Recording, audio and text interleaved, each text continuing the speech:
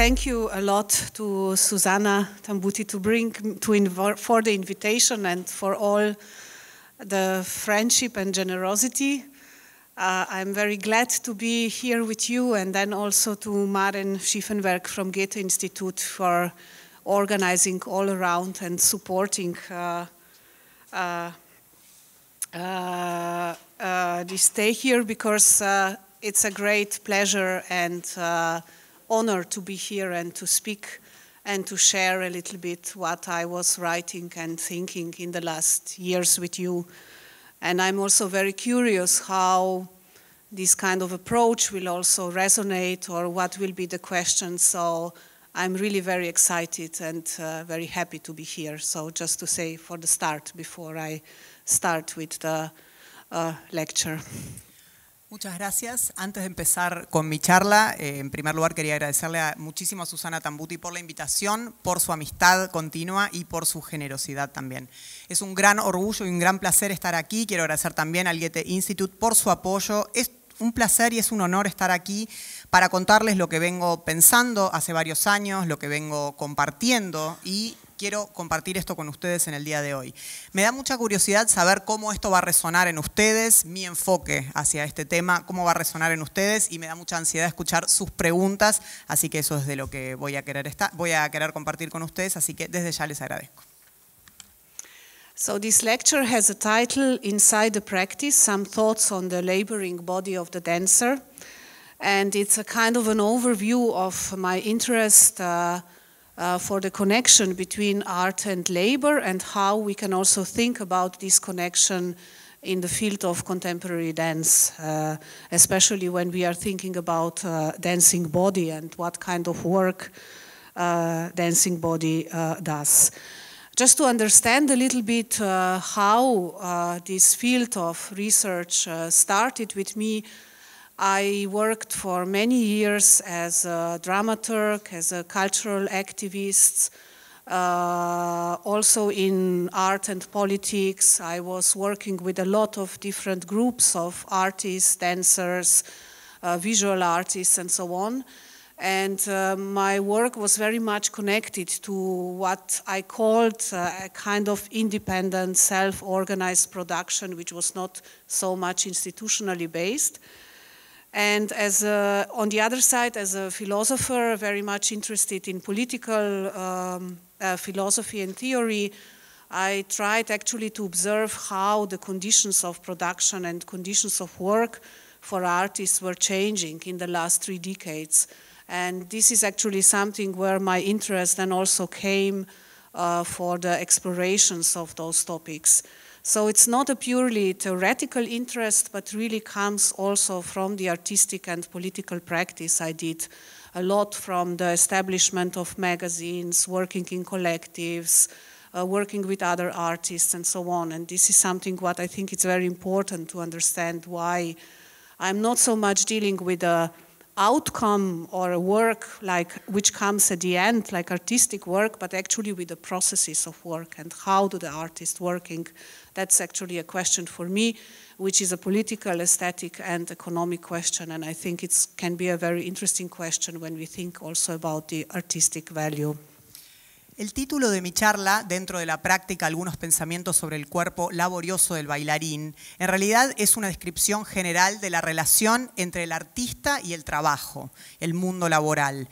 En realidad, esto me sirve para pensar en la danza contemporánea y pensar en temas a partir de eso como resultado pensar en el cuerpo danzante y pensar en qué trabajo hace el cuerpo danzante. Para entender mis comienzos, yo trabajé como dramaturga, como activista cultural dentro del arte y de la política, y para esto trabajé con diferentes grupos de artistas, de bailarines y de artistas visuales. Mi trabajo en realidad se centra en producciones más bien autoorganizadas, independientes, es decir, que están fuera del marco institucional. Y como filósofa siempre me gustó observar las condiciones de producción de los distintos trabajos y cómo fueron cambiando a lo largo de las décadas. Este es mi interés central en explorar estos temas. Y no solo me interesa hacerlo desde un punto de vista teórico, me interesa obviamente desde el arte y desde la política, y esto lo plasmé en diferentes revistas, trabajando en diferentes colectivos y con diferentes artistas. A lo que voy con todo esto es que no me interesa tanto el resultado de las cosas, sino realmente el proceso artístico. Ese es mi mayor interés. And I strongly also believe that actually the mode of uh, production or the way how do we do works is very much uh, connected, especially in contemporary time, also with other modes of working. And this is how I also came to the study of um, like how uh, neoliberal uh, movements are actually influencing artistic production or how post-Fordistic turn actually it's also reflected in the way how there are changes in the way how the artists are doing their work and so on. Um, so I was actually for some time exploring this um, um, relationship and proximity between um, a kinesthetic and sensory qualities of capitalist production, like what kind of temporality the work has and uh, uh, what kind of rhythm and so on, and on the other side, uh, how that can be also uh, analyzed in the modes of uh, artistic labor. And what for me was very interesting that I discovered a lot of proximities, but also a lot of paradoxes. And I will talk about one very important paradox today in this lecture. Muy bien. Entonces, lo que yo creo es que el modo en que trabajamos se relaciona muy estrechamente con otros modos de trabajo, es decir, el modo en que se trabaja dentro de nuestro campo artístico. Y lo que me interesó explorar es cómo el movimiento neoliberal afecta la producción artística. Ese fue uno de mis intereses centrales. Y también me interesó ver cómo afectaba eh, el modo en que llevaban a cabo su trabajo los artistas. Empecé a explorar la relación eh, kinestésica entre las cualidades sensoriales de la producción capitalista y aquellas del trabajo artístico. Estudié su temporalidad y me enfoqué en cómo analizarlo desde el punto de vista de la labor artística. Y encontré tanto proximidades, es decir, similitudes, como paradojas. Y es esa paradoja la que quiero explorar en esta conferencia hoy. So let's touch one um, important feature of proximity between artistic labor and capitalist development today. And uh, this is very much connected actually to the work of artists for which we can say throughout the 20th century often resisted the immediate link between value and labor and uh, rather turning itself into a kind of abundance of leftovers, an overflow of activity circulating around unworthy processes and the production of waste. So if we would follow um, artistic propositions throughout the 20th century, like from the avant-garde or in the 60s, but also later, we could see that when we were touching modes of artistic working, they were very much connected with a kind of usefulness work, uh, the work which was uh, full of waste, which was uh, connected to failure. So this kind of discussion, which was really related to uh, refusal of uh, productive work was very much in the center of uh, artistic uh, reforms or new artistic collectives or the collectives in theater and dance. And in this way, artistic labor was often celebrated as a kind of a negative excess of production uh, in the sense that uh, it become a residue of passivity, of lesser action, of different temporality than temporality of production, which is very much accelerated and rhythmically organized. And uh, this redundancy of work uh, disclosed itself as a special force of uh, productivity. Así, de esta forma, se empezó a pensar en esta proximidad de la que les hablé recién, la proximidad entre la labor artística y el desarrollo del capitalismo. Durante el siglo XX, el movimiento artístico y los artistas resistían muchas veces el lazo que se trataba de establecer entre el valor y el trabajo. este valor como una abundancia de cosas que sobran, de diferentes actividades que producen una gran cantidad de desechos o de residuos. Las proposiciones artísticas como la vanguardia o los movimientos artísticos de los años 60 y otros movimientos justamente se resistían a este trabajo como eh, utilitario, como de derroche y esta relación con el fracaso. Justamente lo que sucedía es que estos movimientos artísticos tenían un discurso de rechazo a este trabajo productivo y este rechazo fue el centro de las reformas artísticas de la época. Y así la labor artística se negaba en cierta forma este exceso de producción y justamente los residuos de la pasividad se veían aceleradas. Esta redundancia de trabajo es eh, foco de estos movimientos. So let's say that the labor of the artist is then often related to different modalities of work. It does not necessarily follow the productive quality of work, so that it's always geared by production, by continuous progress, by continuous effectivity, and so on. Rather, it takes over the ever postponed temporality, like in Bartleby, by example, I would prefer not to. It's actually the main mode of how we can describe a lot of artistic practices, or dedicates itself to the exploration of passivity, of deceleration, of uh, repetition, contingency, uh, continuously challenging this immediate connection between labor and productivity um, exploring the relationship more between labor and desire, and so on and so on.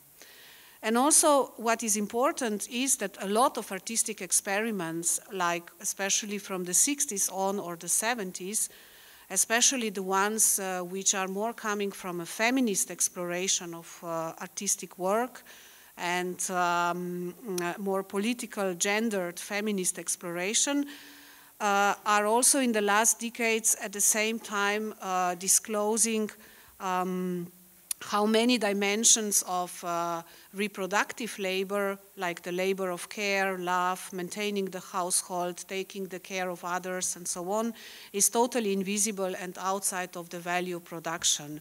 And this is something what also came actually in the artistic practice, that a lot of feminist artists and uh, feminist practitioners actually really changed the way how what kind of labor actually artists are doing, what is actually the labor of care, what is the rhythm of the labor of care, how can the labor of care be connected to collaboration and so on. So uh, a very important feature is that the visibility of this working mode um, um, uh, is actually challenging also the racial and gendered hierarchies in the capitalist mode of production. And actually, it is disclosing how invisible modes of reproductive work, which have different temporality and so on, are also the source uh, for the ongoing violence and exploitation in the productive labor. La labor de los artistas muchas veces se relaciona justamente con las diferentes modalidades de trabajo y no necesariamente habita la cualidad productiva del trabajo. En cambio, toma esa temporalidad pospuesta de Bartleby en I Would Prefer Not To y dedica, se dedica a la pasividad, a la repetición, a la contingencia y a desafiar ese lazo inmediato entre el trabajo y la productividad. Para hacerlo, explora la relación entre trabajo y deseo y trabajo y otros elementos. Y varios experimentos artísticos, especialmente aquellos que tienen un eh, dejo feminista, es decir, que tienen un componente de género, durante las últimas décadas, en los años 60 eh, y 70, pero también en las últimas décadas, en cierta forma revelan la cantidad de dimensiones del trabajo reproductivo, como el trabajo del cuidado, el amor, mantener el hogar y cuidar de otros, cuidar de la naturaleza, y cómo estos son invisibles y por fuera de la producción de valor. Lo que sucede es que la invisibilidad de estos modos de trabajo también está causando que las jerarquías y las divisiones, tanto de género como raciales, en los modos capitalistas de producción, sean una fuente de violencia y de explotación.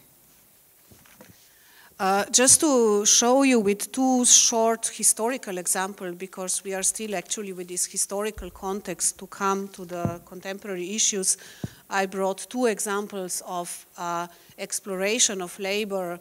Uh, one comes from a feminist practice of the artist uh, Mierle Laderman Ukeles, and this is her uh, maintenance manifesto from 1969. Mierle Laderman Ukeles, it's an American visual artist, performance artist who did um, um, actually in the 69 she decided because she did a lot of work at home as being a mother and uh, taking care of her kids and uh, taking care of the household and she decided actually that she will transfer this work is in an artistic practice. And she wrote this maintenance manifesto as a kind of manifesto where she declared that uh, the art practice for now her will be the maintenance art, the art of taking care, of cleaning, of maintaining the household, maintaining the um, um, um, uh, area around her and so on and so on. And in this way, by example, she did a series of, uh, uh, sorry, this is not the right one, I have to go to another direction. Uh, this is uh, Mierle Laderman Ukeles doing her maintenance art, uh, cleaning the steps of the Whitney Museum in uh, 71. This is one of her very early projects where she really explored these different modalities of labor of the artist, of the feminist artist, and so on. And then later uh, in her career, she became a residence artist with the um, uh, New York Sanitation Department, where she actually still works today. So it's a very, very special practice and a very special way also how she relates to the labor as a feminist artist. So this is just one example, historical example. Solo para contarles un ejemplo histórico, porque todavía nos queda pasar a los ejemplos más contemporáneos. En cuanto a ejemplo de exploración de la labor y de los trabajos, eh, Mierle Yaderman Ukelest, una artista eh, feminista que escribió un manifiesto en 1969 denominado Manifiesto de Mantenimiento. Lo que ella quiso manifestar justamente con este manifiesto es cómo se podía crear una performance artística en base a los cuidados que uno ejercía en el hogar, ¿sí? la limpieza, el cuidado de los hijos, el mantenimiento del hogar y de las zonas aledañas ella decidió transformar esto en una práctica artística, ¿sí? y esto es lo que ella plasmó en este manifiesto, justamente el arte del mantenimiento. En la foto la veíamos limpiando las escaleras del Museo Whitney en Nueva York, y allí ella exploraba la labor justamente de las artistas y ella logró representar esto como artista feminista. Y más adelante ella comenzó a trabajar en el Departamento de Salud e Higiene de Nueva York y aún trabaja ahí en la actualidad. Así que realmente logró hacer todo un arte de este tipo de trabajo. On the other side, I just brought a very short example, just like a picture of the work of the. Um, let's go further now. No, that's not one. Um, of the work of the Taiwanese artist uh, who uh, Tehching Hsieh, uh, who did the, um, um uh, a very famous performance in 81 where he closed himself in a room and uh, uh, then punch the card, uh, like the working card. Here you see the punching hour now beside him. And he punched this car every hour for a year. So he was actually 24 hours punching the working cars from the morning till the next morning. It's a very famous example, but I, ju I just wanted to bring it inside again to see to show you how uh, radically present was this uh, topic of time, labor, rhythm in performance art, actually also historically in the 70s and in the 80s. Of course, uh, she's work is very different than Mierle Laderman Ukeles because it's very body art work based on a lot of uh, durational works where he closed himself for a year and do a very particular score, which was in this sense punching the card. But at the same time, it is showing again how this question of work was very present in the exploration of artists and so on. Otro ejemplo es el de un artista taiwanés llamado Tehching Hsieh, que en 1981 Yes.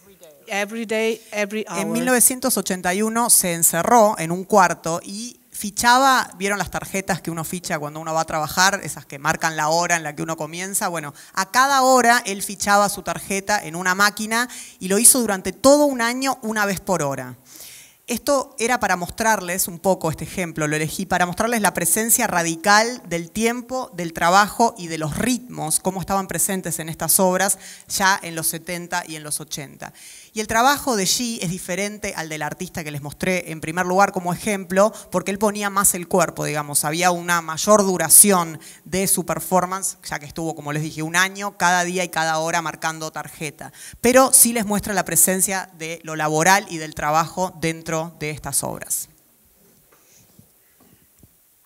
What of course it's very interesting why I also brought these two examples. These are really small examples because there were many artists who were uh, busy with that and we will speak more about that in the seminar with uh, students when we will work in um, after the conferences. Um, but what is very interesting in these projects is that they were not only uh, thematizing the notion of work, but they really also did the work. No? So Mierle Laderman Ukeles and uh, Xi on the other side, they really did the work.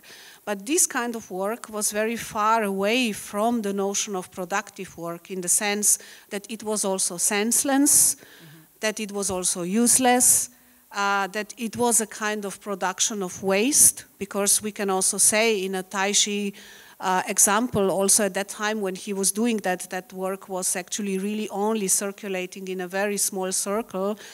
And uh, so there was a lot of production of waste. So exploration of work through its abundance, uh, which was um, seen as a very uh, liberative and resistant quality of artistic work.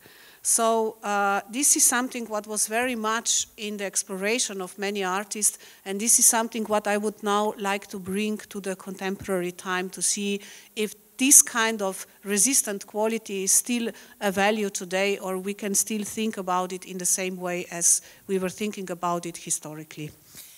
Y estos dos ejemplos que les traje, que son ejemplos pequeños, en realidad había muchísimos más artistas dedicados a hacer este tipo de exploración y de los cuales voy a hablar más en el seminario que voy a estar dando luego de mis conferencias.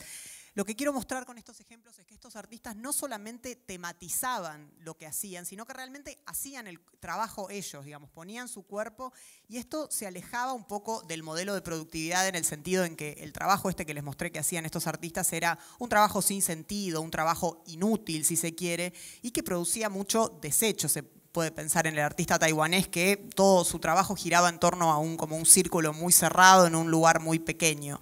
Pero esto explora el trabajo, explora el, elemento de abundancia del trabajo y hacer estas exploraciones resulta en una forma de resistencia por parte de estos artistas. A lo que voy con esto es que me parece que si bien hemos explorado muchos artistas del presente, la premisa y la pregunta válida a hacerse hoy es si esto todavía tiene valor hoy, realizar estas exploraciones, y esto es lo que quiero plantear como hipótesis, si esto todavía es válido en el presente. So, if we go to, to a let's say, last 20 years, or let's say from the 90s on 80s, where we can actually also detect the changes in the mode of production, which some philosophers were describing as post-Fordism, so a kind of um, development of uh, more immaterial modes of working, the, the work which has a very different temporality and so on. But also with the changes in neoliberalism, I think that this kind of production of waste, which was very historically um, a kind of a powerful way of how the artists were challenging the notion of work, no longer seems nowadays so special. Uh, because also today we are more and more confronted with the work which seems uh, superfluous, unnecessary, or as American anthropologist David Graeber would say, we do a lot of stupid work today. Mm. So we are employed actually in stupid professions and so on, and this I will explain a little bit after the translation. En los últimos 20 años, si queremos pensar desde, el año, desde los años 90 hasta el presente, hemos visto muchos cambios en los modos de producción, lo que algunos sociólogos llaman el post-fordismo, en el sentido en que hemos encontrado ya modos más inmateriales de trabajo y que tienen una diferente temporalidad como trabajos. Con el advenimiento del capitalismo, todo lo que era anteriormente una forma de desafiar los modos de producción de los artistas, hoy no se considera tan especial en, torno a esa producción de exceso, producción de residuos. Sin embargo, no es especial porque hoy en día, contemporáneamente, vemos cada vez más la presencia de trabajos superfluos, trabajos innecesarios. Como dice el sociólogo norteamericano David Graeber, el trabajo estúpido. Hoy nos vemos mucho frente a muchos trabajos estúpidos. So not only has contemporary capitalism created a mass of uh, redundant laborers as a result of automatization and the disproportion between the means of production and value, but it also depends on the redundant labor. So it's, it's, it's part of the capitalistic processes that the labor is redundant and so on. So production today, it's flourishing actually because of this stupid, um, mm, uh, unnecessary, ludicrous jobs, uh, also jobs with no relationship to any social or material valorization of work and dependency from social and natural environment or dependency from time and space. And such useless work is at the core of production today like, uh, for example, if we just think about the proliferation of various evaluators and consultants who are perpetuating the evaluation of other evaluators, adding value to the spec speculative managerial chain of consulting, and with that pushing, pushing the value of commodities and goods on the contemporary market. But also a lot of work crucial for, for the production of value is actually unnecessary. And, uh, and this is something what is so um, in the core of the way how do we produce today, even if we are continuously through the ideological discourses and pressures uh, taught that actually there is a kind of rationality between the way how the production is working is through the proliferation of this stupidity actually the whole production totally irrational and this is something what maybe we translate first and then I continue. Lo que sucede es que dentro de los procesos capitalistas y dentro del capitalismo contemporáneo se da una fuerte presencia de trabajadores redundantes. Esto se debe a la automatización y a otros factores. Pero justamente todo el sistema capitalista depende de estos trabajadores redundantes. El proceso se basa precisamente en esta redundancia y el capitalismo florece gracias a ese trabajo estúpido, a ese trabajo ridículo e innecesario, que no tiene ninguna relación ni ninguna dependencia con el tiempo ni el espacio. El trabajo hoy en día y este trabajo sin sentido está en el corazón de las fuerzas productivas. Esto se da, se puede ver en consultores, en evaluadores que a su vez proveen consultoría y evalúan a otros evaluadores y a otros consultores dentro de este sistema de consultorías, de gerencias, y esto obviamente aumenta y hace que aumenten sin fin los precios de los bienes y de los commodities que se comercian justamente dentro de lo que es este sistema de producción de valor, lo innecesario, eh, a pesar de que existe una cierta racionalidad, todo este sistema capitalista está proliferando en base a esta estupidez y a este trabajo estúpido que se perpetúa sin fin. Uh, I can just show you this with uh, one example. maybe it's also well known from here because, like in the last 10 years or 15 years, there was even more, I think, two de decades. Like in European context, there is a huge pressure on the artistic institutions, academic institutions, institutions of education, so something what actually is belonging to the public good, to the, to the common and so on, to be more and more transparent and to more and more show that what they are producing is useful and it can be evaluated. No? So the whole shift of privatization of education, by example, or the whole disciplinizing of cultural institutions through transparent valorizations and so on, which was a very big push of new neoliberal governments in the last 20 years in European context, by example, is coming from that wish that these institutions would continuously show that that what are they are producing is producing value, is economic, is justified, and so on and so on. And that actually belongs very much also to the way how the state, if the state is supporting institutions and so on, would like to get then the uh, the, the, the, products back. Now, what I want to say is that this kind of wish actually shows the paradox of how we are producing. On one side, we have these stupid works, a lot of kind of irrational works in the core of capitalism, but to cover this kind of irrationality, this system ideologically produces more and more demands on that what is common and what has another value, not the value of productivity and so on, to show itself as a value of productivity. So in the sense, um, uh, let's say that um, because a lot of work crucial for the production of value is actually unnecessary, there is even a stronger wish to reform the institution where another modality of work, uh, the work full of waste and redundancies still flourish. And that's why we have these kind of paradoxes in the society. By example, where there were this first neoliberal shift of cultural politics in European, in many European countries, the first who were attacked were actually lazy artists who are not working, who are not producing, and so on. And this kind of attack on laziness, I would say, comes actually from the laziness in the core of the capitalist shifts today. Por ejemplo, si tomamos los últimos 10 o 15 años en Europa, hay muchísima presión, no sé si se da la misma situación aquí en Argentina, pero hay muchísima presión sobre las instituciones artísticas, académicas y educativas sobre esta Primero, esta, este, esta, necesidad de ser transparentes y, en segundo lugar, esta necesidad de que muestren que son útiles las instituciones artísticas y académicas, muestren que son útiles y que producen valor, ¿sí? sobre todo estas instituciones que producen el bien común, ¿sí? las artísticas, académicas. Lo que sucede muchas veces es que esta, desde la privatización de estas instituciones, con el disciplinamiento, con esta idea de transparencia que tiene el capitalismo, yo creo que viene del deseo justamente de que estas instituciones muestren su producción de valor, el hecho de que son económicamente justificables. Esto es algo que también el Estado exige.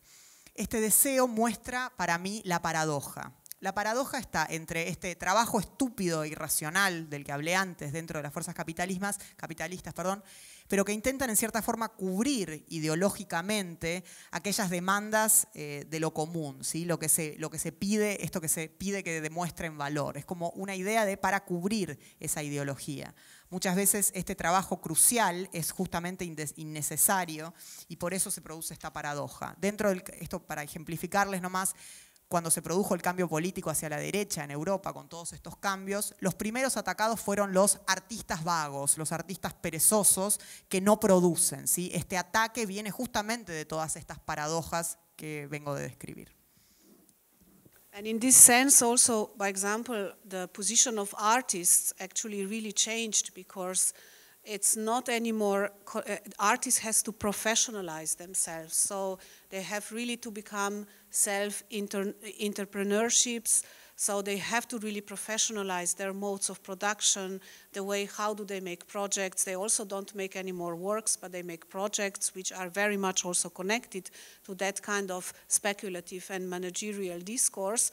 And this is something what goes actually into this kind of um, paradoxical connection between, let's say, irrationality of capitalist mode of production and a discourse of transparency and rationality which is produced as a kind of a main ideological operation how to value art in contemporary society.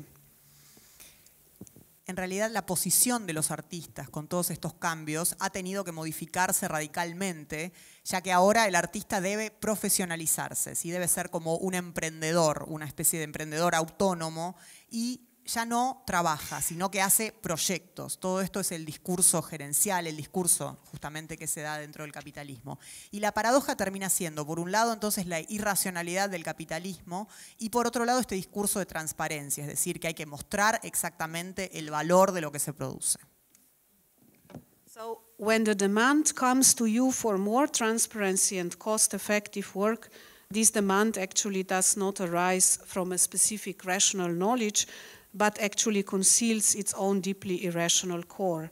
And uh, it originates from that what uh, Isabelle Stengers and Philippe Pignarre um, described as capitalist sorcery.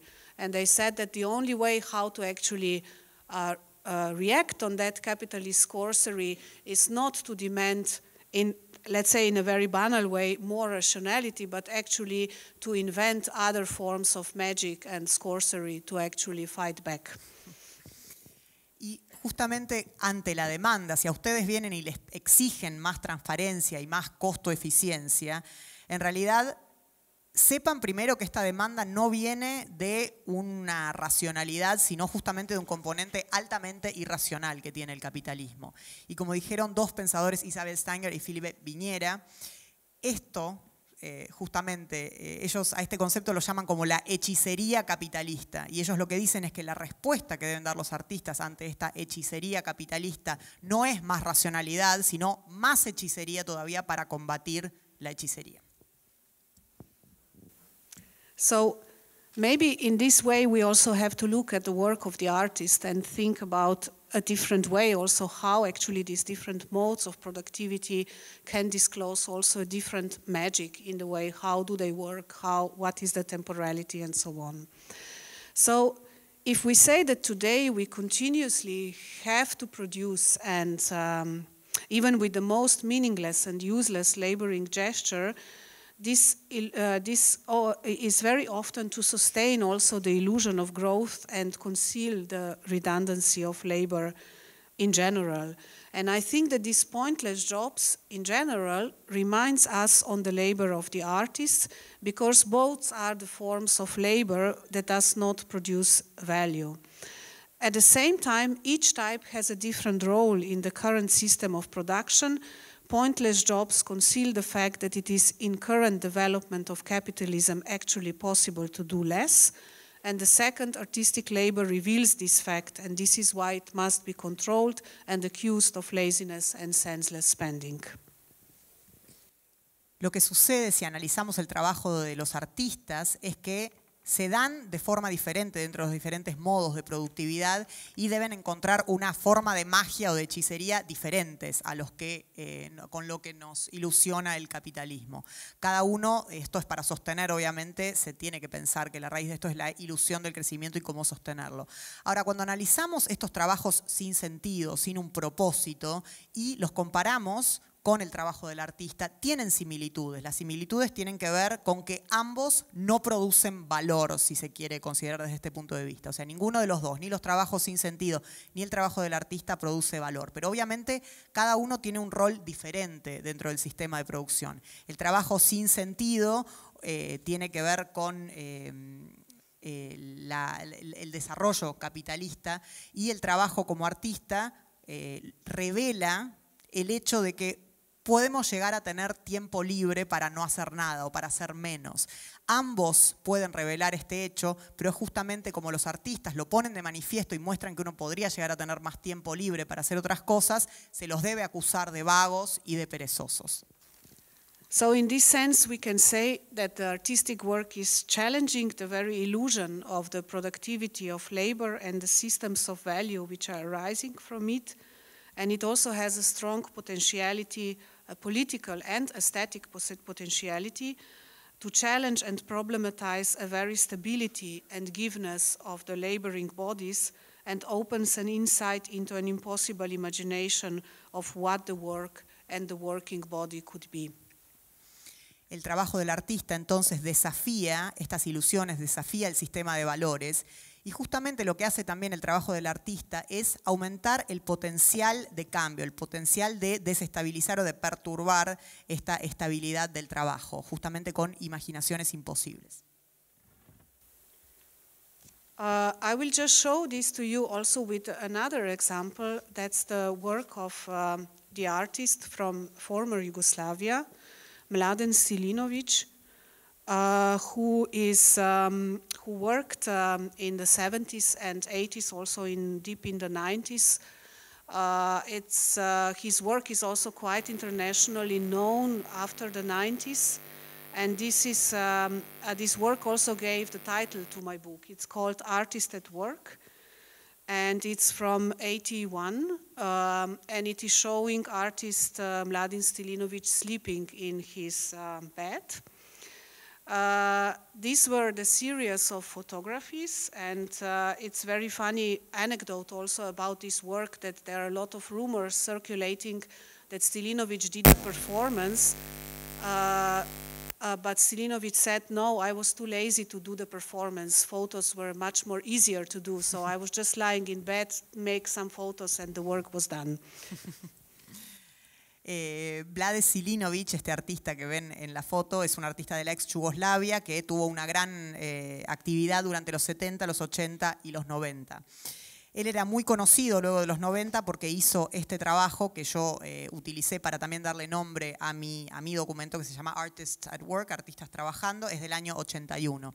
Y es una serie de fotografías de él acostado, durmiendo, y hay rumores, es una historia graciosa que dicen que él era demasiado vago para hacer de esto una performance, entonces dijo, más fácil, me quedo en mi casa, me saco algunas fotos yo durmiendo y con eso ya tengo el trabajo listo.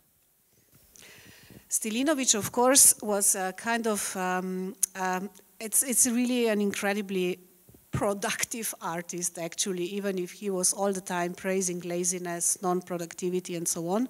But of course, what was in his mode of working so interesting was that he continuously challenged the productive mode of working. So he was continuously searching for other modes of how to work through rhythm, through temporality, through cheap materials, through collaborations, and so on, and continuously challenging the way how actually the work can be done. And um, he is um, uh, uh, he did a lot of um, um how to say not uh, like he did a lot of conceptual pieces in the 80s where he took um, different series like Color Red, uh, which was also, of course, very much uh, related to jokes uh, to the communist movements and so on. Like, by example, here he produced a lot of fake quotes. Uh, and this is one of the fake quotes from Karl Marx. Rad je bolest, uh, that means in Croatian, work is a disease. And this quote was so popular that it was even then used in some sociological and philosophical expertises as coming from Karl Marx, even if that was never by Karl Marx, but by Mladen Stilinovic. Y era un artista increíblemente productivo, si bien se la pasaba alabando a la vagancia, digamos, o a la pereza, él eh, disfrutaba mucho de producir y producir. Y él desafiaba a través de esta forma de trabajar los modos de producción. Él eh, trabajaba mucho encontrando materiales baratos con los que trabajar, trabajando en colaboración, es decir, desafiaba y buscaba nuevas formas de trabajar. Y tiene varias piezas conceptuales de los años 80 eh, en los que jugaba con diferentes elementos, en este caso que vemos en pantalla con el color rojo, que obviamente hacía clara referencia al comunismo, y él empezó a hacer un trabajo de citas falsas, es decir, citas textuales que supuestamente provenían de alguien famoso, pero que no eran tal. Había una que inventó, que supuestamente la había dicho Karl Marx, pero que no era verdad, que se llamaba, o que decía, rezaba, el trabajo es una enfermedad. Y se hizo tan popular este dicho falso que se terminó utilizando en algún documento, en algún paper sociológico en algún momento como que lo había dicho Karl Marx, si bien había sido un invento total de este artista eh, de la Yugoslavia. So let's say that in the 70s and 80s he was actually showing the mirror to a communist system because he was continuously, with his work, actually also ironically joking about the value of work in communism and showing actually how communism is related to laziness in its core and so on. So he was doing actually really very interesting ideological uh, disclosures of ideological discourses about the work in socialist society. But then in the 80s, and that's why I brought um, Mladen Stilinovic here in this frame as an example, he wrote um, a manifesto uh, in 92 in the, pra the praise of laziness, where he was already actually uh, writing it from the perspective of being a former artist from the Eastern Europe, but now coming on the West and where the artistic scene was professionalized and there were more and more professional organizations and so on. And in this manifesto, maybe you can read it a little bit for yourself, but he is talking about the problem that uh, as an artist, I learned both from East socialism and West capitalism. And now when the borders and political uh, uh, system have changed, such a double experience, he said, will not be any more possible. But what I learned from that dialogue stays with me, and one of the basic um, uh, uh, observations is that artists on the east are lazy, but artists from the west are not anymore lazy. And then he's discussing this problem and how to actually deal with this problem, that there is no more laziness in the production of art. Y en los 70 y los 80, él, este artista mostraba o se mostraba como una suerte de espejo al sistema comunista, hacía bromas sobre el valor de del trabajo dentro del comunismo y cómo había una, un gran componente de vagancia dentro del trabajo en el comunismo. Y, a través de esto podía jugar y podía analizar los diferentes discursos ideológicos de la época. Ya en los 80 él escribió un manifiesto que se llamaba Alabanza a la vagancia, es una traducción ad hoc que estoy haciendo ahora, y el punto de vista eh, del artista en este caso era que él ya había aprendido cosas de Europa del Este como artista de Europa del Este y ahora ya estaba con las, con las enseñanzas de Occidente como un artista más profesionalizado y todo eso. Y en este manifiesto él hablaba sobre el problema de que había tenido aprendizajes tanto del socialismo del Este como del capitalismo de Occidente. Y esta doble experiencia de aprendizaje ya no era posible, pero todo lo que él había aprendido obviamente ya se quedaba con él. Y él, su conclusión era que en el socialismo del este había mucha pereza, mucha vagancia, pero en el capitalismo del oeste ya no había lugar para la vagancia dentro de estas nuevas formas de producción. So for me, Stilinovic is actually a very interesting example. I always go back to him because it's very inspirational, the way how he also is ironic and cynical actually about and how he sees the paradoxes. He is the example of the artist who is really touching this uh, very ambivalent position of the artist worker also in capitalism. And uh, I think that what we can see when we are analyzing the work of artists is that um, the work of artists can really disclose us this neurotic um, or irrational course of contemporary production it can show us these very different displacements about different economies, like when something becomes a value, when something is a waste, and so on. It is really dragging into this limitation between value and not value and so on. And that's why I think it's so important actually to think about the work of the artist in this sense. And especially this comes important today where we are confronted with so much useless and stupid work, or where we are confronted with a lot of redundant work, or where we are uh, confronted also with a very precarious situation in working, because again, I think the work of artists is a very interesting example how these kind of paradoxes can be disclosed on one side, but on the other side, of course, also how the work of artists also changes. So my interest in analysis is actually on one side critical. I would like to somehow shake this idea of artist as a managerial professional and show how ideologically constructed it is. But on the other side is also affirmative. I would actually like to show how artist work has this kind of political potentiality to show these paradoxes and to disclose them and to actually show on what kind of a a very shaky base they are also made when we are talking about the value of work. Y Silinovich siempre recurro a este artista porque me parece un ejemplo que produce una gran inspiración por su ironía, por su cinismo, cómo puede ver estas cosas ambivalentes dentro de eh, las mismas paradojas y cómo analiza estas paradojas desde estas ambivalencias del capitalismo. Si observamos esta pregunta, esta cuestión del trabajo de los artistas, creo que es de tanta importancia en este momento porque revela, no sé, lo neurótico de la producción contemporánea, artística, revela también los desplazamientos de la economía, digamos, esta ambivalencia entre el límite, entre qué tiene valor y qué no lo tiene, y también pone de manifiesto la importancia que eso tiene hoy cuando nos vemos enfrentados a esta cantidad de trabajo estúpido, redundante, sin sentido y también muy precario, el trabajo precario. Por eso el trabajo del artista hoy revela esta paradoja y revela también cómo va cambiando. Este análisis crítico que yo hago de esta situación me parece importante porque yo quiero eliminar esa noción del artista como eh, una, persona que tiene que manejarse con los códigos gerenciales o, del capitalismo y de las fuerzas mercantiles. Es decir, me parece que es importante que tenga detrás esta construcción ideológica, pero que al mismo tiempo se demuestre a través del trabajo del artista el potencial político de mostrar estas paradojas. Okay, so now we came to, my, to officially to my page four, and we almost did an hour of lecture. So, so there is a second part actually which I would like to talk about, but I will be uh, really putting out the most important point and connect it to this more general context of exploration.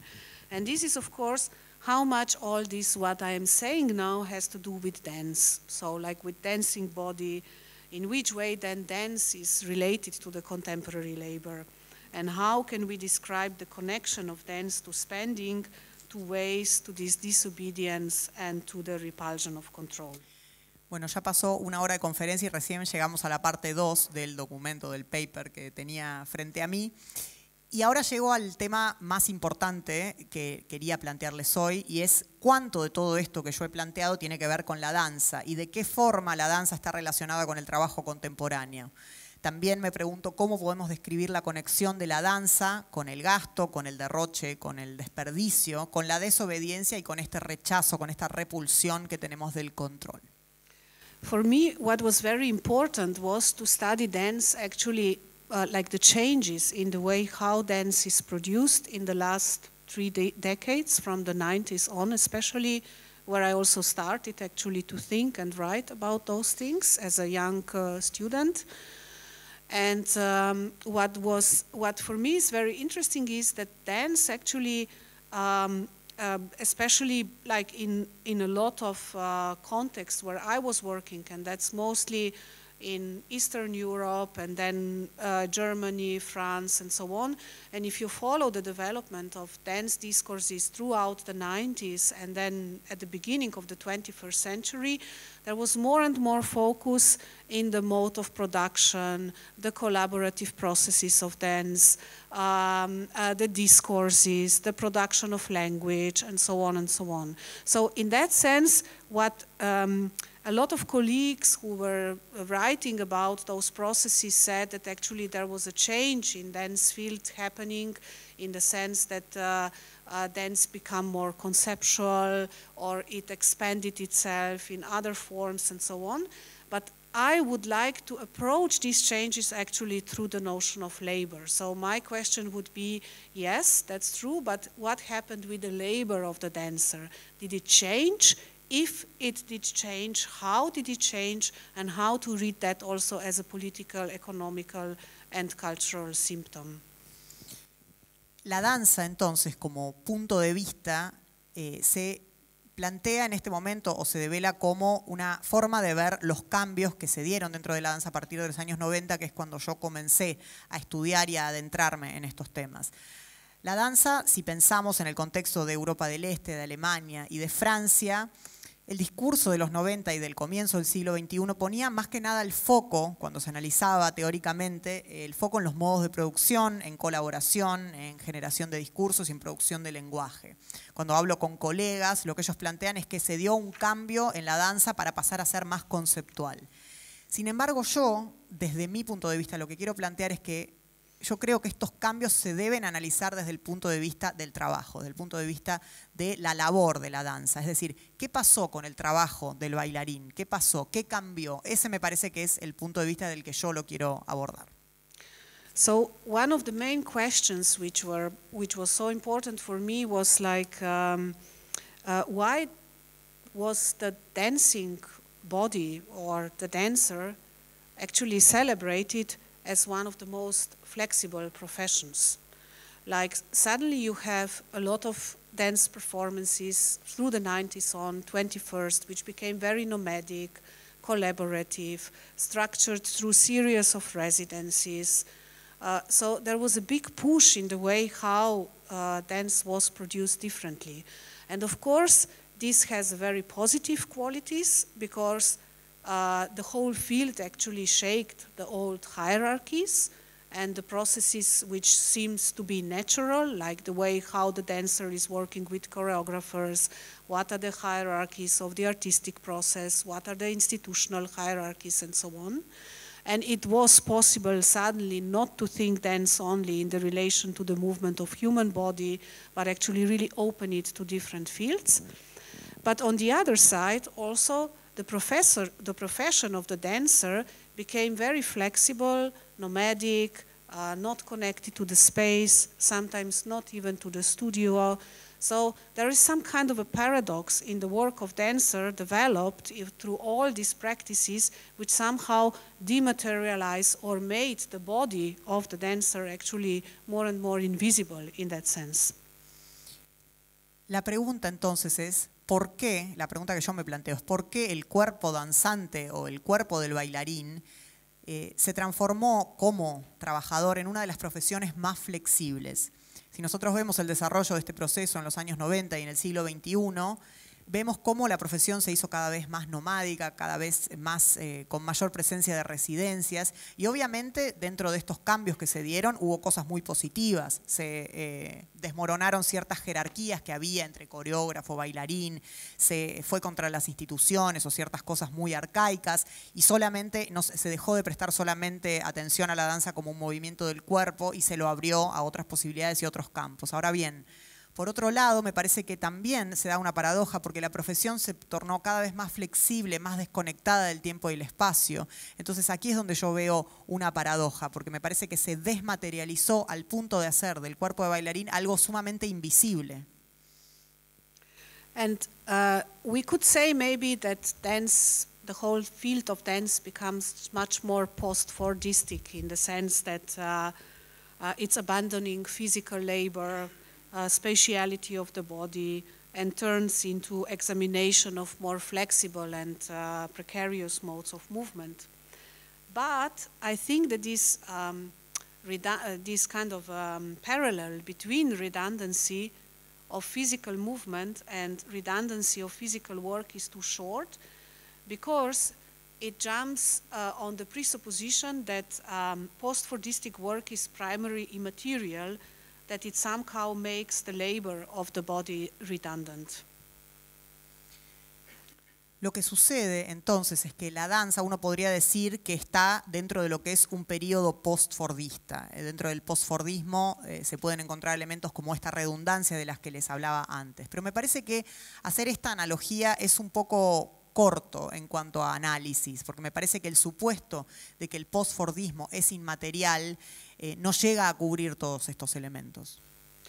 So what was uh, what is very interesting is that um, mm, there is a kind of presupposition that the virtuosity of the body is diminished because of the rise in communicative and discursive skills. No? So that there were much more discursive and communicative skills coming into dance and not so much focus on a dancing body and the questions of embodiment and so on.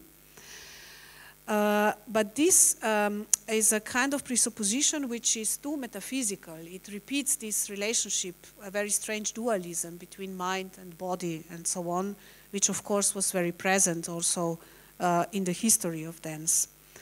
So um, mm, instead of this differentiation between materiality and immateriality, it is much more efficient to analyze actually how the value of labor has shifted and how specific forms of working have become redundant without value, but that does not mean that they are non-existent. And I think this is something what also it's very connected to dance. So in general, in post-Fordism, the way of production shifted and it changed.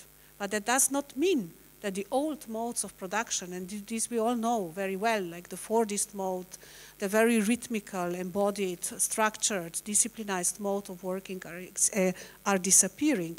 They are still there, but their valorization or their kind of visibility moved actually somewhere else. They became invisible, uh, put somewhere else that we are not on, not on our reach, and so on and so on. So this, I think, is something what also happened very much with dance. So the body labor is very much there, but actually it is not visible in the sense that even if I talk with a kind of anecdotic example, by example, if you have Uh, there were a lot of performances, you know, dance performances in museums. In the last year, there was a, this very big performative turn and the interest of dance, which of course aesthetically opens very interesting questions, but economically it has a lot of problems because sometimes it does not even have a space which would enable a body to do the practice and preparation and take care that it can perform.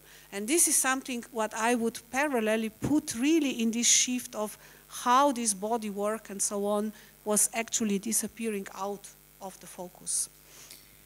Creo que si pensamos en esta dimensión más comunicativa y más discursiva, también tenemos que pasar al plano de lo metafísico, es decir, en, en, el dualismo entre la mente y el cuerpo. Creo que el valor del trabajo va cambiando porque se van dando diferentes formas de trabajo en este postfordismo se puede pensar en un trabajo sin valor, pero no por eso en un trabajo no existente. Obviamente lo que sucedía en los tiempos del Fordismo cambió completamente, ese trabajo rítmico, esas formas tan estructuradas han desaparecido. Pero lo que sucedió no es que desapareció, sino que su visibilidad se desplazó a otros lugares donde quizás no los podemos ver. Y creo que con la danza sucedió algo similar, porque el cuerpo está ahí, el cuerpo está presente, pero deja de ser visible desde un cierto punto de vista. Por ejemplo, se, para un ejemplo concreto, se dieron muchas performances en diferentes museos, esto generó un gran interés en la danza, pero económicamente esto tenía problemas muy graves porque a veces ni siquiera estos bailarines tenían espacios para prepararse físicamente para estas performances. Entonces aquí es donde se dan estas ambivalencias y estas paradojas. Are you still with us? aquí todavía. I will move now slowly to the conclusion and maybe put these uh, very hard theoretical parts out because I think it's kind of, we have a very nice line. And um, mm, so what I want to say with that is that um, for me, I, I, just want to turn a little bit the focus on the, um, how do we analyze this, the changes in contemporary dance in the last two decades, not only from a kind of aesthetical perspective, but more from political and economical perspective, and then also see how they influence actually the aesthetics. No? And this is something what is very interesting for me, like where, where is now the body located? Where is the body practice? How is the body practice visible? And so on. All these kind of questions I think are very much not only aesthetical questions, but very political questions also related to uh, accelerated mode of production, to the post-Fordistic mode. Uh, so that's why I think the focus is very important actually on this notion of the labor of the dancer. So that would be maybe one perspective on it. And when we translate, then, then we go to the um, uh, second perspective, which is more affirmative. So it's more speculative, effect, uh, speculative attempt. Why do I think the labor of the dancer is such an interesting uh, political labor also today? Muy bien, me voy a alejar un poco de la teoría porque hemos tenido una, un, una charla creo que se armó de forma bastante interesante. Entonces voy a aproximarme a mi conclusión. Creo que lo que yo trato de plantear es un foco diferente en cuanto a cómo analizamos los cambios de la danza contemporánea en los últimos años. Creo que se debe siempre considerar obviamente el plano estético, pero sobre todo se tiene que tener en cuenta el punto de vista económico y político y cómo esos factores luego afectan la estética, no primero la estética me, parece interesante hacerse preguntas como dónde está el cuerpo, dónde se hace visible este cuerpo. Me parece que se deben hacer preguntas estéticas, pero no solo estéticas, sino también políticas, para entender cómo se da el trabajo dentro de esta era post-fordista.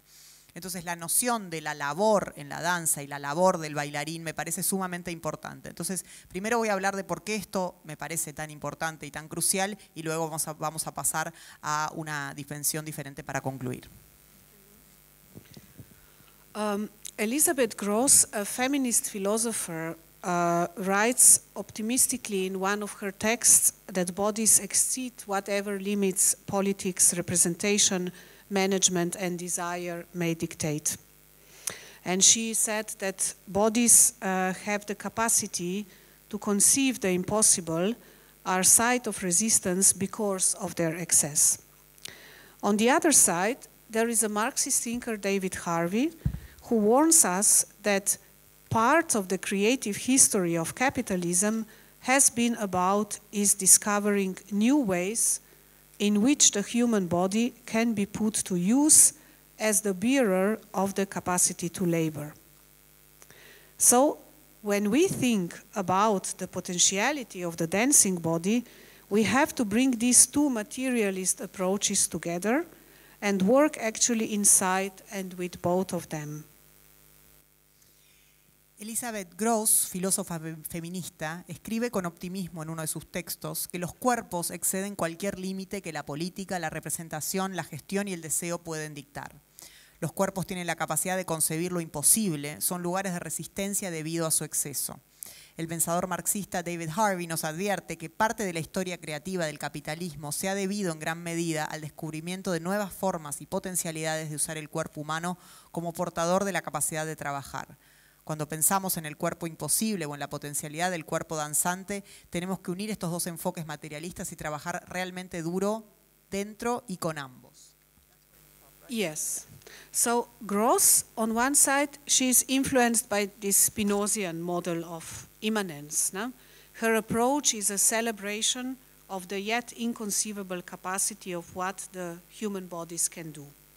On the other side, Harvey, as a historical materialist, telling, is telling us that we cannot think about the body without relating it to the production of its laboring power.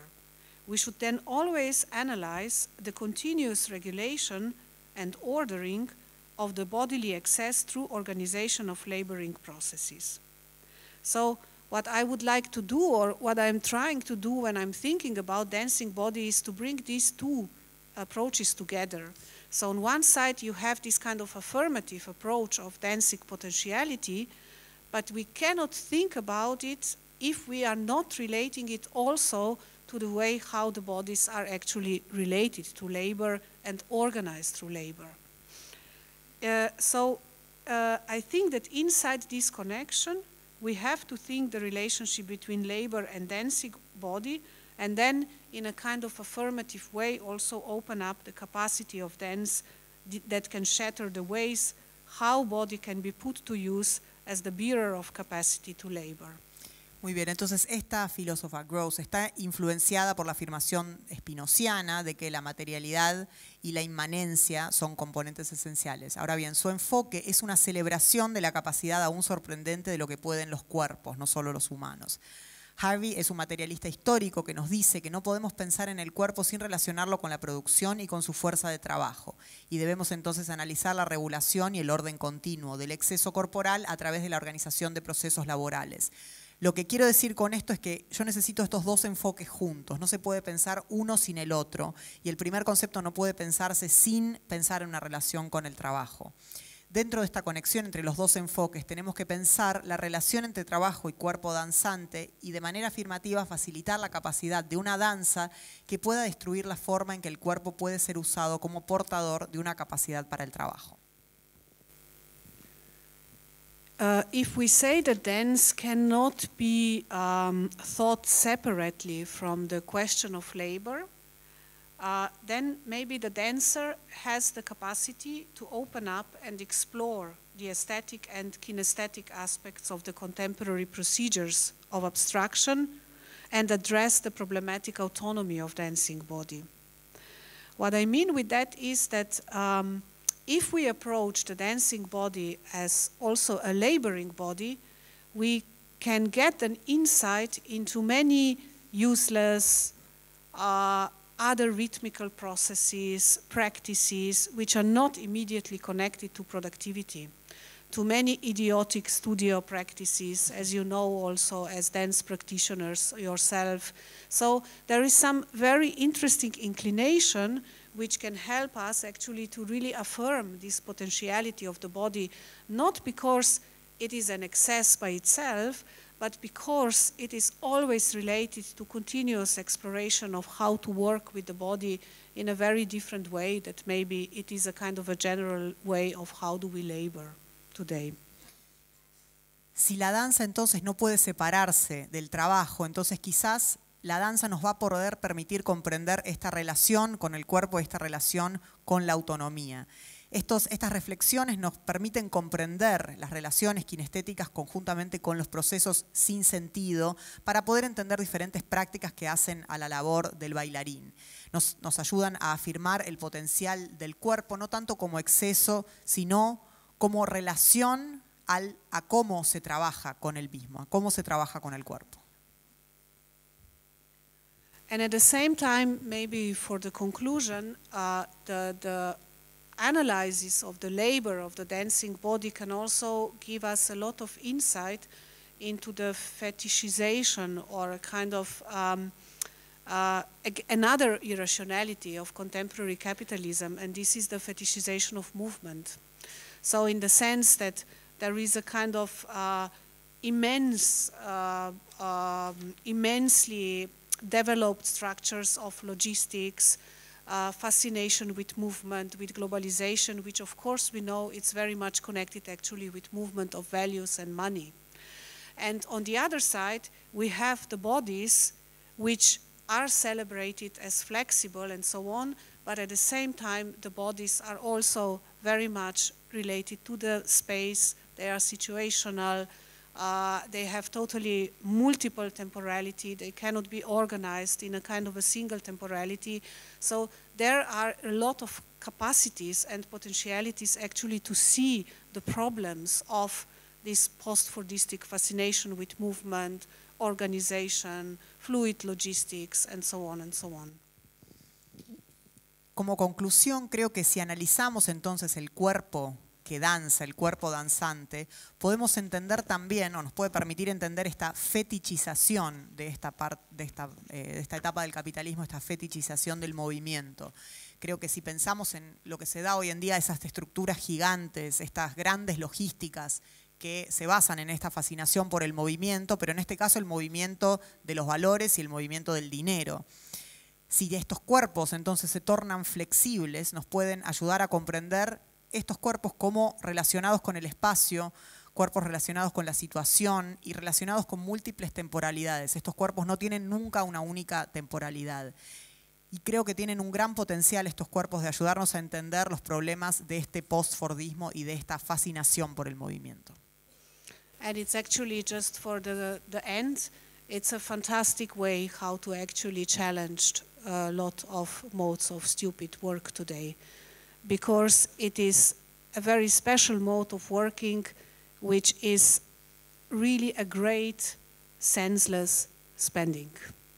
Thank you very much.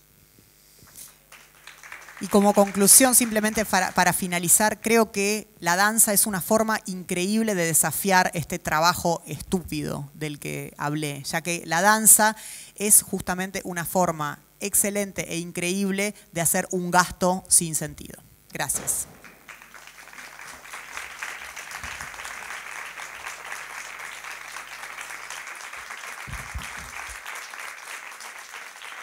Si todo está planteado desde la perspectiva del trabajo, ¿hay algo que pueda pensarse por fuera del trabajo? Of course. of course it is. And the, the, the, I think it's just a conceptual way of how to see things which maybe would stay hidden. It's a way how to um, come to the problems through another door.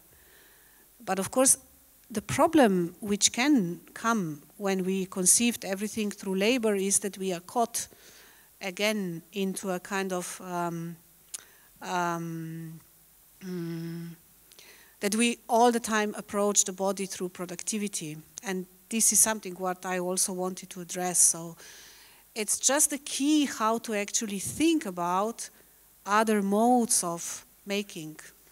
And uh, like in my last work now, I'm very much uh, interesting to open up what would be a poetic work. What does it mean? Like uh, the making of poesies and so on. So what can what kind of temporality, what kind of rhythm, and so on. So for sure there is a catch. So we have to use this approach methodologically and and um, strategically, but not to ontologize it as a kind of the truth of the body. So for sure, yeah. Por supuesto que sí. Eh, en realidad lo que yo planteo es una forma conceptual de revelar o de ver lo que está oculto, lo que está escondido y llegar como al problema por otra puerta. Esa es básicamente mi premisa. Es decir, uno puede también caer en la trampa de si, ver, si vemos todo desde la lupa del trabajo, quedamos atrapados en siempre ver eh, todo desde el punto de vista de la productividad. Y eso también puede ser como una trampa en la que no tenemos que caer. Esto es básicamente plantear una clave para pensar los diferentes modos de hacer.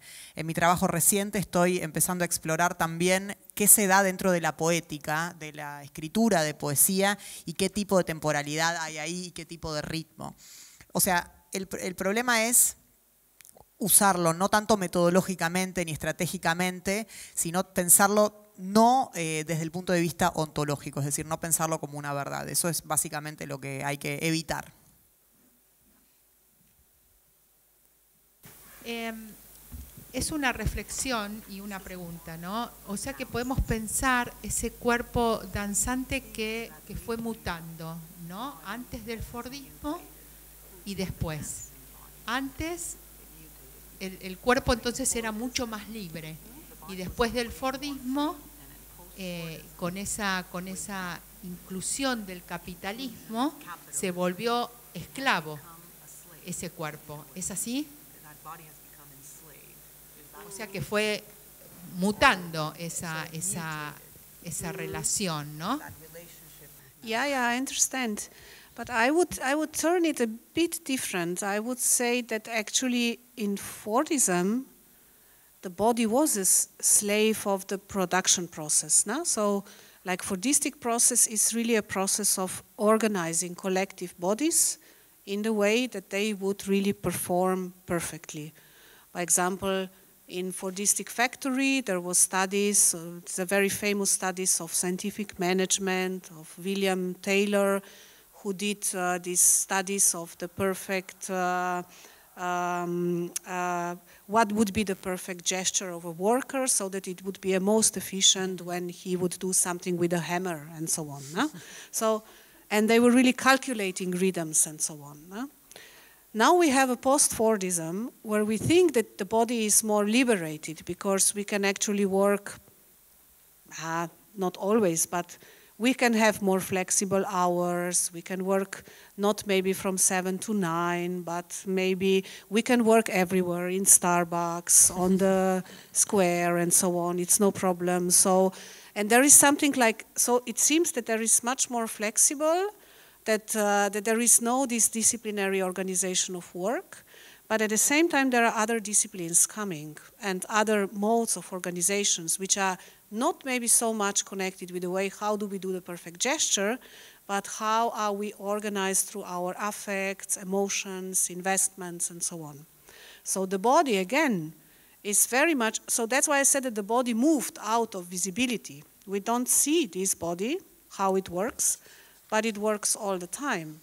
And it works all the time with its investment and its energies and its desires. That would be first thing. The second thing is that the old mode of working, where the bodies are slaves, does not disappear. And that was really the illusion of a lot of theoreticians when they started with post-Fordistic discourses. They were really celebrating these other modes of working.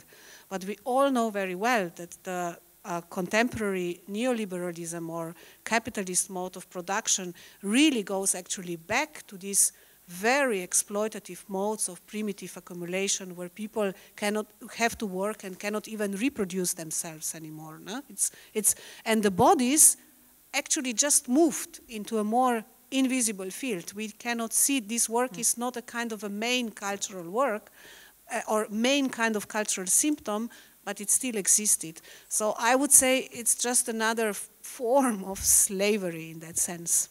Yeah. Eh, dentro del Fordismo, que me, permito hacer esta distinción para que quede claro el concepto, dentro del Fordismo el cuerpo en realidad era esclavo, era esclavo de las, de los procesos productivos donde los cuerpos eran organizados para tener un rendimiento perfecto. Hay varios estudios que se hicieron en las fábricas de la época fordista donde se buscaba hasta el gesto perfecto del trabajador que golpeara el martillo de modo de lograr la mayor eficiencia. O sea, realmente todo lo que era movimiento era calculado al extremo para lograr la mayor eficiencia. Ahora bien, en el post-fordismo el cuerpo supuestamente está más liberado, es decir, ya no tiene que trabajar de 7 a 9, podés trabajar en un Starbucks a las 3 de la mañana, digamos, supuestamente hay una mayor libertad y parece más flexible, parece menos disciplinado. Sin embargo, en, en los entretelones hay un diferente modo de organización. Ya no existe el gesto perfecto del trabajador apretando el martillo, sino que se nos trata de organizar nuestra vida afectiva, nuestra vida social desde otro punto de vista. Por eso es que dije lo de los cuerpos invisibilizados, ¿sí? porque en realidad es un cuerpo que trabaja todo el tiempo y que genera todo el tiempo, pero que está más invisible, o sea, no vemos al cuerpo en sí haciéndolo. La esclavitud lamentablemente no desapareció. Había teóricos que decían que con el postfordismo la esclavitud desaparecería, pero sabemos muy bien que dentro del capitalismo y del neoliberalismo se vuelve nuevamente a las formas de explotación, de modo tal que las personas tienen que trabajar y trabajar constantemente y que ya no pueden ni siquiera reproducirse. El cuerpo se ha invisibilizado, eso es verdad, pero eso no significa que no esté ahí presente.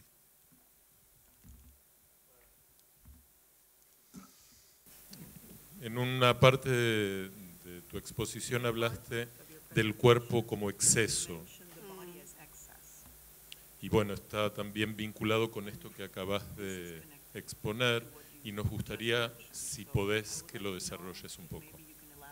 Yeah, that's that's really connected with. Um, I think it's more it's excess in the sense that there is always always something remains. There are always leftovers. We cannot grasp the body in its entirety. So it's not an excess in the sense that, um, uh, because it can also be um, understood in a kind of that, that the body is always obscene or explodes and so on. That would be one interpretation. But where I'm talking about it, it's more in the sense of immanence that we never know what the body is capable of or what it could be capable of. No? So there is always this kind of ungraspability, and that gives a lot of positive, let's say, affirmation to the power of the body. And I would very much go with that, but at the same time, of course, body is not abstract. It's uh, gendered, situated, related to labor organization and so on. So there I wanted to bring another approach inside which comes maybe more from Marxistic perspective also and then bring these two things together. So what is then the notion of excess? And in these examples where I was um, trying to bring you today also and like artists with which I'm working and thinking about, the excess is actually something which is much more related to do less and not more to to actually yeah to to to to to to, to leave something empty to to much more connected to passivity um, and this is something what is interesting for me because I think we are nevertheless living in a culture which is very much accelerated, where the temporality is very specific, it's obsessed with progress and so on. And this lessness or potentiality of lessness, it's a very interesting problem. Of course, this is not a question of privilege that somebody can now afford to be lazy and so on, but it's really a political problem. What does it mean to think about excess as a kind of a leftover, as something what we cannot just appropriate or yeah, use it to produce another effective value and so on? En realidad, el cuerpo como exceso es un punto de vista eh, en el cual siempre algo queda, ¿sí? Desde el punto de vista de un remanente, ¿sí? en el sentido en que no podemos comprender ni tomar la totalidad de ese cuerpo. Es desde ese punto de vista que yo quiero plantear el exceso. Eh, yo creo que por lo menos desde el punto de vista que lo veo yo, es desde el punto de vista de la inmanencia, es decir, ¿qué puede un cuerpo? ¿Qué puede hacer un cuerpo? Esa es la pregunta. La, afirmación positiva del poder del cuerpo. Sin embargo, el cuerpo es algo físico, no podemos eh, desmaterializarlo. El cuerpo es algo físico y tiene un género y esto genera también otros enfoques. Ahora bien, yo me planteo qué es la noción de exceso. En los ejemplos de los artistas que yo traje en el día de hoy, el exceso tenía que ver más con una relación del hacer menos, no del hacer más.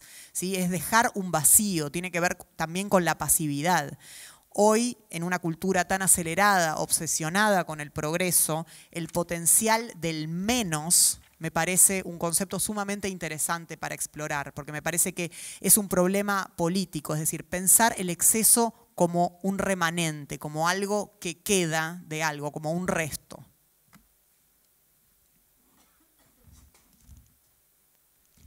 Eh, quería preguntarte acerca de la cuestión de que eh, los conceptos con los que estás trabajando, como capitalismo, cuerpo, postfordismo, son en un sentido eh, abarcativos y seguramente no son unidimensionales, pero pareciera que de algún modo están pensados desde una perspectiva global, es decir, como si todo el, mundo, eh, el planeta, estuviera alcanzado de la misma manera por esos conceptos.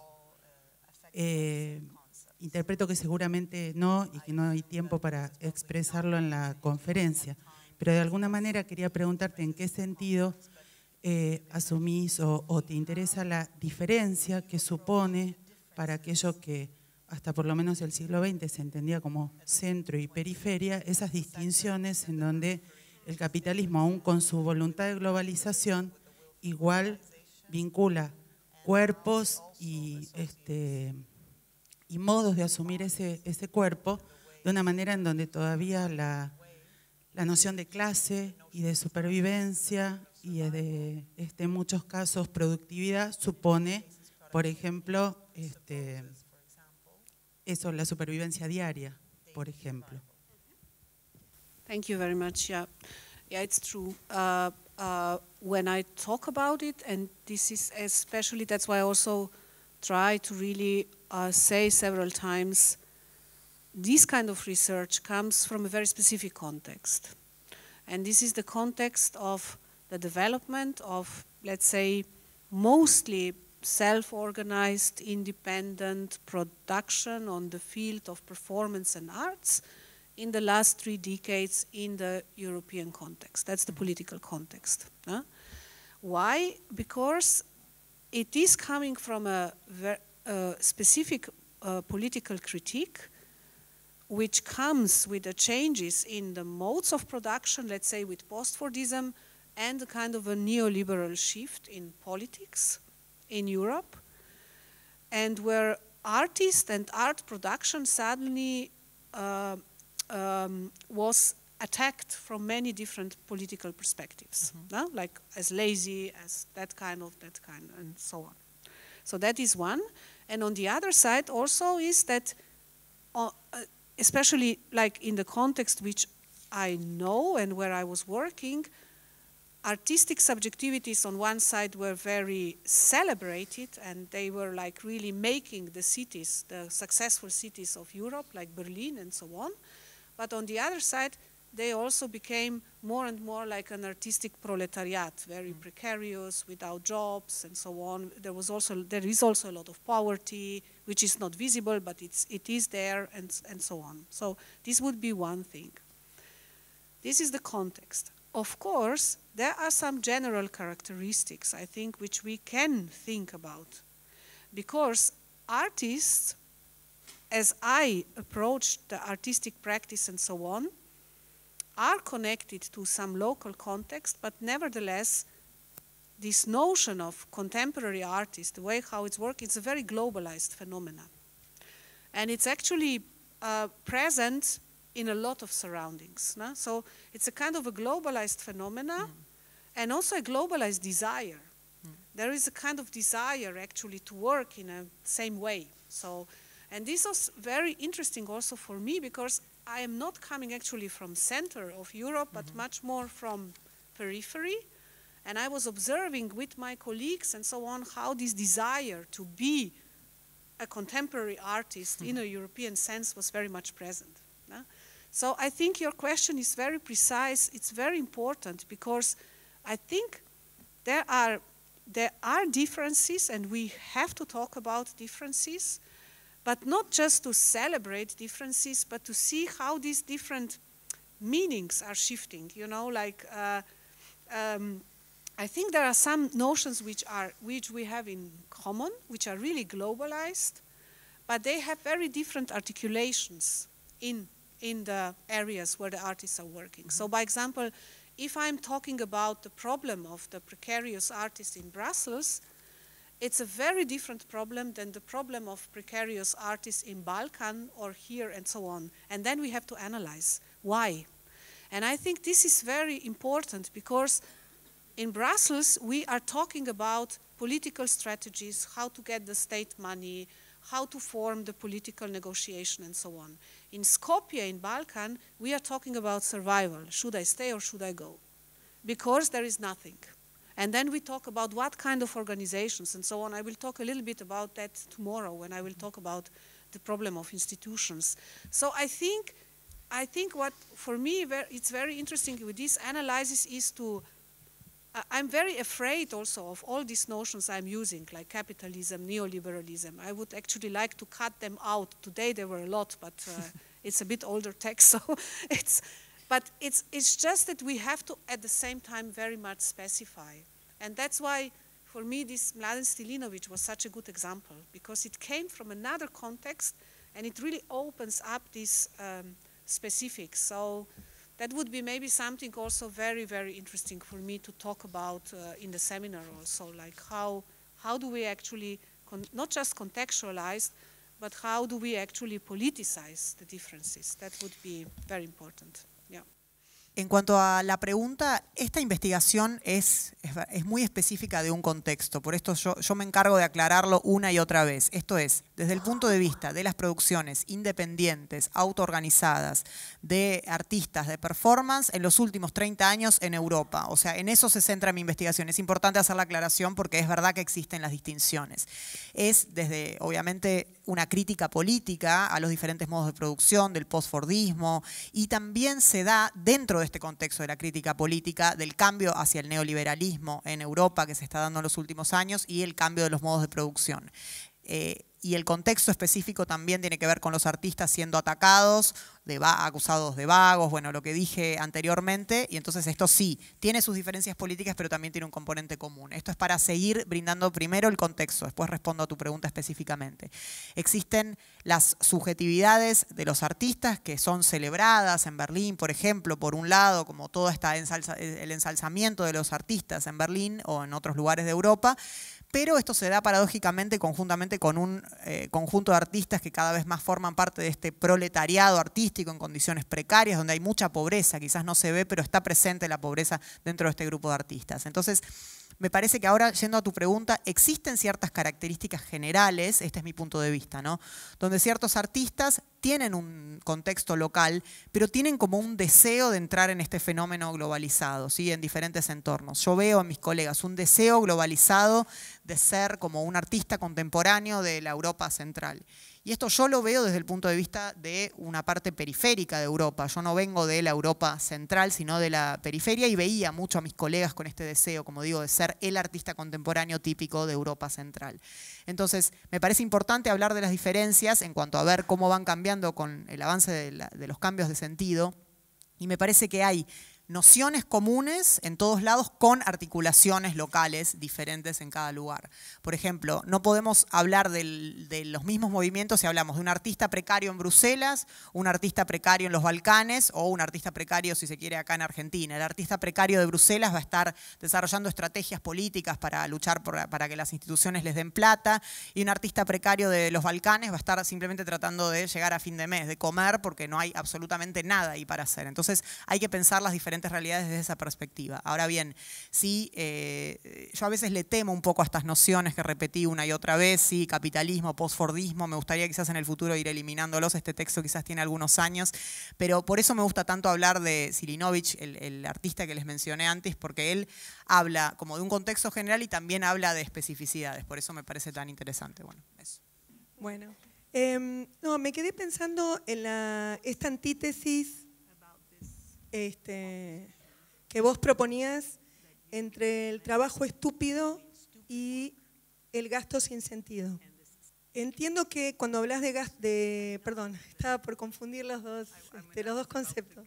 Este, no, que cuando hablas de trabajo estúpido te referirías a algo así como cuando hablabas de, digamos, de estas instancias, este, de, digamos, eh, formal, de formalizaciones, ¿no? Que hablabas del trabajo gerencial, etcétera, eh, de las consultorías y demás que sería algo así como una productividad sin producto, como, como la forma, digamos, lo que muestras como una forma de una productividad sin producto. Pensaba si, si esos, dos, eh, esos dos polos, ¿en qué medida no se contaminan uno con otro? En este contexto, digamos, del capitalismo neoliberal, llamado también capitalismo tardío, y una cosa más, y cuando hablas de, gasto improductivo, estás, estás de modo em, eh, pensando en el, concepto de Bataille de, gasto improductivo, o, gasto sin sentido, gasto improductivo. I think yes, they are. They are very close together. The only uh, uh, difference I see is that the Because the stupid work or the modes of stupid work is also a senseless spending. No? It's the work without the product and so on, but it's continuously controlled and turned into a value. So it's a controlled senseless spending. And on the other side, it's this kind of more Bataillean context also, like we can say that it's a senseless spending on a grand scale, which is not controlled. And this is something what I was writing in a book uh, more uh, precisely uh, through the work of Austrian philosopher Robert Pfaller, who did a kind of a very interesting analysis of the modes of control which are at work in contemporary art. Uh, through different modes of, he talks about different curatorial models, evaluation models, and so on, and then brings this Bataillean context inside. And what for me is very interesting is that he does exactly that, that he brought both these modes of senseless spending, actually they are the same. There is a lot of senseless spending in stupid work, but it is continuously controlled through mechanisms and produced into value at the moment when it's senseless. So it's a paradoxical. And that's why I say there is this kind of a discourse, very strong ideological discourse of evaluation, transparency, and so on.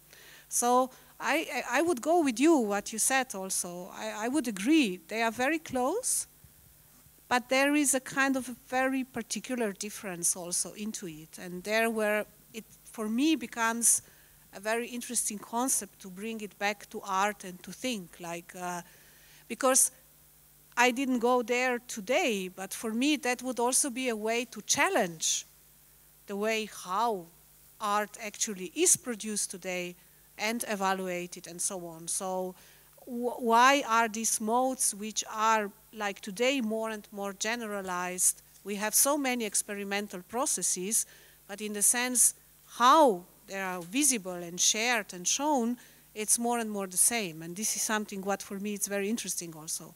Where is this senseless spending actually killed? That's the question. En realidad, sí, estoy completamente de acuerdo en que están muy cercanos los conceptos, pero sin embargo tienen una diferencia fundamental y es que el trabajo estúpido, en cierta forma, también es un gasto improductivo, un gasto sin sentido, pero está fuertemente controlado. Es decir, esa es la gran diferencia que hay. Eh, por el otro lado, tenemos un, concepto más de Bataille en el sentido de un gasto sin sentido, pero a gran escala sería. El census spending, digamos, a gran escala. Hay un filósofo austríaco, Robert Faller, que eh, analiza los modos de control.